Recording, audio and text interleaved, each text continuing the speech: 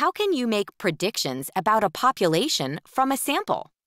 Think about this question during the lesson. The 2,468 registered voters in Adalia's town are voting on whether to build a new stadium. Adalia and her friends want the town to vote in favor of the stadium. How can they determine how the voters will vote before the day of the vote? How can you represent the problem situation?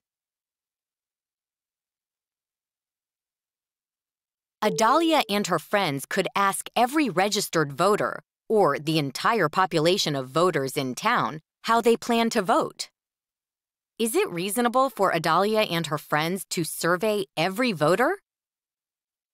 Select your answer. Surveying thousands of people would take a very long time. Adalia and her friends would not be able to survey the entire population of voters. Adalia and her friends could ask a subset or a sample of the registered voters how they plan to vote. Surveying a sample of voters doesn't take as long and is more reasonable to do. Adalia and her friends would be able to ask 100 or 200 people. And although it won't tell them exactly how all of the voters will vote, a representative sample can give them a good idea of what to expect. When you're choosing a sample, why is it important for you to define the population as clearly as possible? It is not usually possible to study every member of a population. But if you know information about the members of the population, you can define and generate a representative sample.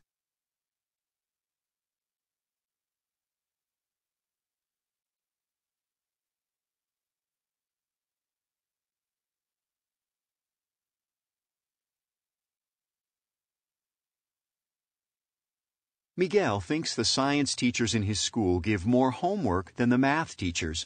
He is researching the number of hours middle school students in his school spend doing math and science homework each night. The blank includes all of the students in Miguel's school. A blank, I'm sorry, a possible blank is some students from each of the grades in middle school. So we have to decide whether it's the population that they're discussing or a sample of that population. If your um, the group includes everyone. That is going to be population. So we're going to write in that first blank space, population. And just a subset of those students would be a sample. Uh, sample. So that is how we would complete these blanks. Morgan decides to survey a sample of the town's voting population. How can she know that the survey results from the sample of voters represent the position of the entire town's population? We're going to click on each sample to see more information. So sample 1, it says Morgan can survey a random sample or a randomly selected group of voters to make sure her results represent the position of the entire town. Sample 2 um, it says Morgan could survey a convenient sample of the first voter she finds. These results are not random and are not likely to represent the position of the entire town. Morgan could survey a randomly selected sample of voters because the size of the sample is very small. Her results are less likely to represent the position of the entire town. So the question is how can she know that the survey results from the sample of the voters represents the position of the entire town? The best options to make sure she is reflecting the entire town's position would be to either take a uh, random sample or a um, randomly selected group of voters to make sure that they are reflecting the uh, views of that particular group of people. A produce manager is deciding whether there is customer demand for expanding the organic food section of her store. How could she obtain the information she needs? She could obtain a uh, random sample of shoppers. So um, she could ask random people in the store how they would feel about um, expanding to that organic food section um, and get their results. And that could create a representative sample for her that will represent the the thoughts of most of the people in that area or town or population. A town will soon be voting on building a recycling center. Out of a random sample of 250 voters, it was found that 165 voters are in favor of building the recycling center. Part A. Out of a total of 55,000 voters, how many do you predict will vote in favor of the recycling center?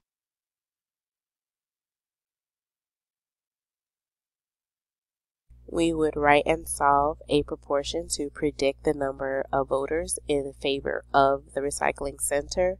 So you would take the number surveyed in favor of the recycling center over the total number of people surveyed, and that proportion would be equal to the total number of people in favor and the total number of voters.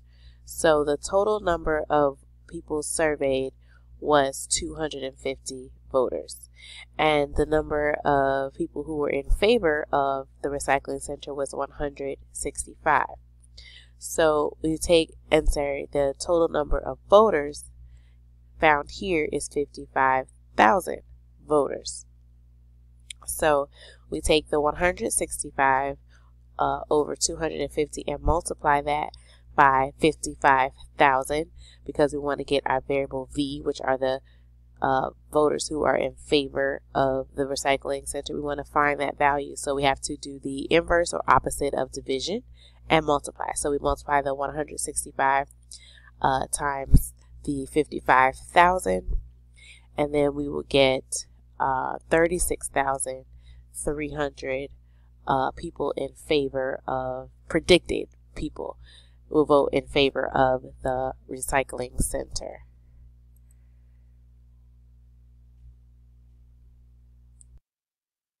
A town will soon be voting on building a recycling center. Out of a random sample of 250 voters, it was found that 165 voters are in favor of building the recycling center. Part B. The table gives the actual results of the vote. Why is the predicted number of voters in favor different than the actual number?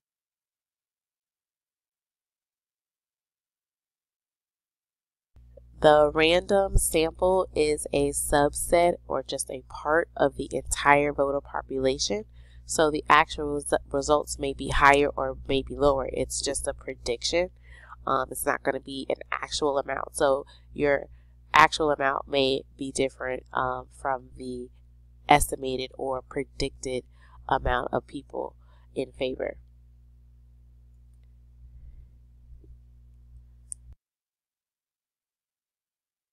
Out of a total of 55,000 voters, it is predicted that 36,300 voters are in favor of the recycling center. The table gives the actual results of the vote. How many voters are predicted to vote against building the recycling center? How does this compare to the final voter results? The question, how many voters are predicted to vote against the building, uh, building the recycling center is the first part of this two-part question or problem. So first we have to go back to the example and it tells us that there were 165 voters in favor of the center and there was 250 total. So we're going to take the 250 total people in that sample that voted and we're going to subtract it from the 165 people that were in favor of the center, and that's going to be 85. So those 85 people are the ones who did not want this recycling center. So now we take the 85 and create our proportion out of the number of students, I'm sorry, voters, and that's 250. And then we're going to multiply that by the total number of voters in that population. And that's going to equal our uh, predicted amount of people who are not in favor. And that's going to be 18,700 people not in favor of this recycling center. And the second part of this is how does this compare to the final vote? So the final was 22,700. So our prediction is a bit lower than the actual votes. Derek is writing a report on cell phone usage. He collects data from a random sample of 7th graders in his school and finds that 16 out of 20 7th graders have cell phones. If there are 290 7th graders in his school, estimate the number of 7th graders that have cell phones.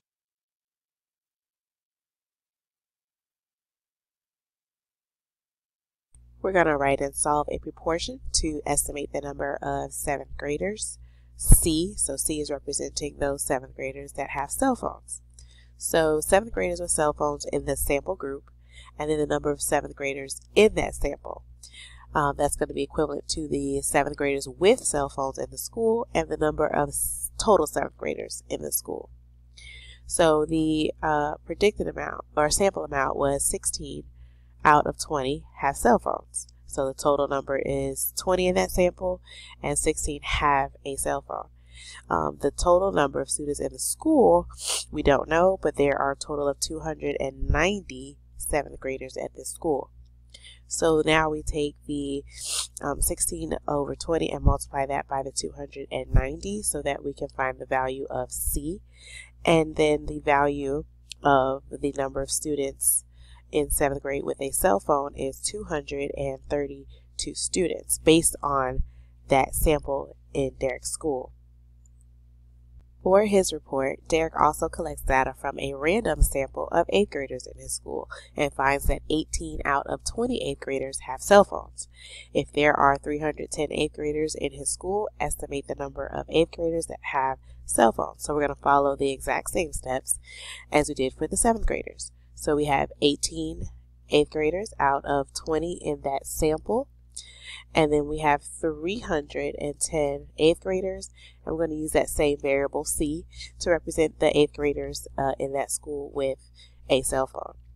Um, the next step is to multiply the uh, 18 over 20 times the 310 and that will give us the value of C which is the number of students with a cell phone in eighth grade, and the total of students with uh, cell phones in eighth grade is 279 students. The table shows the numbers of monthly cell phone batteries manufactured at two companies last month. Defective batteries did not charge properly. Out of 15,000 new batteries manufactured by each company next month, which company will expect to produce fewer defects? Write and solve two proportions showing the number of defective batteries out of 15,000 produced. So company A uh, manufactured 11,500, 75 were defective uh, Company B had 12,225, 90 were defective. For Company A, you do 75 uh, defective batteries over the total number of batteries, and you're going to multiply that by 15,000 new batteries, and then you're going to get approximately, that squiggly equal sign means approximately, so there's going to be approximately 98 of uh, the batteries that will have defects company B, you're going to do the same. You put the number of defective over the number produced. You're going to multiply by that 15,000 and approximately 110 for company B. In conclusion, company A is expected to produce or manufacture fewer defective batteries than company B next month. Company C had 60 defective batteries out of 10,800. If Company C also manufactures 15,000 new batteries next month, how does this company compare to the others? Explain. Following the steps from the example, we're going to take the 60 defective batteries and put it over the total manufactured, which was 10,800. And then we're going to multiply by the 15,000 new batteries. And that is going to equal approximately, let me do that squiggly equal sign, approximately 83 defective batteries. And it says, how does this compare? Well, company C will have uh, more than company, uh, let's see, it's going to have uh, less than company C, I mean company A, but it is going to have, oh, it's going to have less than both. So company C would actually have um, the least number of defective batteries.